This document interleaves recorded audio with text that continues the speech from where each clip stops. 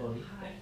Just because she's eight days younger than you, he's eight days younger than you, he's gonna But you keep see the growing. difference, it's, it's huge. Yeah, yeah, you can see it, and it's only eight days and they'll be that size. Et puis ils sont nourris Wow. que au lait, hein, They que grow au at lait de la this age, mère, hein. grow. Me?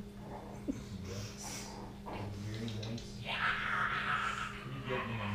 Which one is the spicier of all, do you think? So far? The feistiest. Feistiest, but this one is the most outgoing probably. Ongoing. Outgoing. Outgoing. Ça c'est bien That's, ça. that's, C'est- Ça c'est une femelle. Who knows, you never know, I mean, you know, you always had girls. Yeah, I've always had female dogs. in, uh, we learned a long time ago.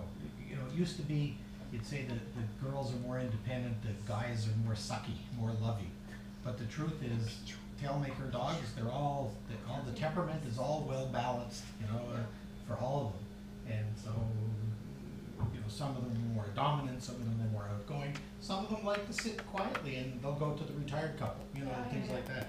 Uh, you get to, uh, you evaluate their personality, and by about eight weeks, we have a good idea of their personality and the people that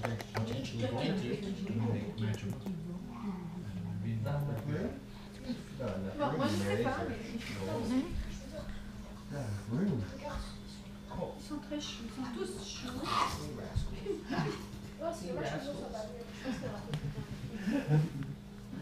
Ah, j'ai. Ah oui.